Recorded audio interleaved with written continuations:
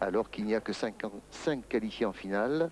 Mais voilà une jeune fille qui nous vient de Calais, au Centre national de préparation de gymnastique rythmique et sportive Amélie Villeneuve. Vraiment un grand talent pour demain.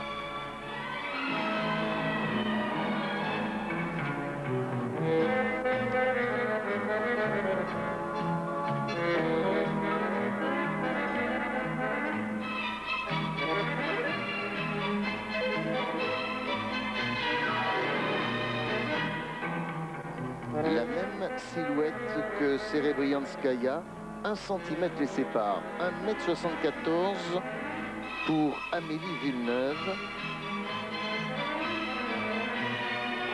Et pour les amateurs de statistiques, 50 kg de poids de corps seulement, ce qui donne vraiment une taille mannequin à ces championnes de gymnastique rythmique et sportive.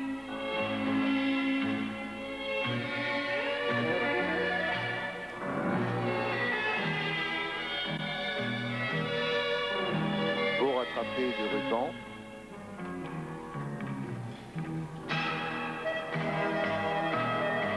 Très expressive aussi. «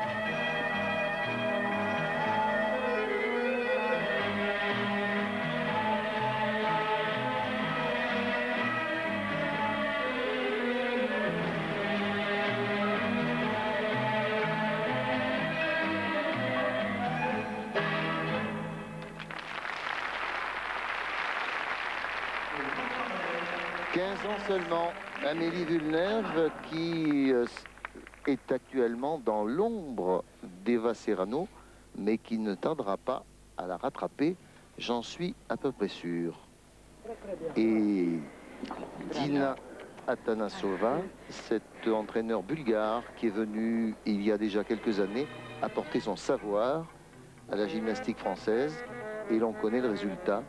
Il y a eu Eva Serrano d'une part, et puis euh, toutes les jeunes filles qui ont réussi euh, des prouesses euh, techniques, plus qu'acrobatiques, puisque vous le savez maintenant, en dehors de ces sauts et quelques pirouettes avant, et les pivots, eh bien les gymnastes ici n'ont pas le droit de réaliser de sauts périlleux ou de vrilles.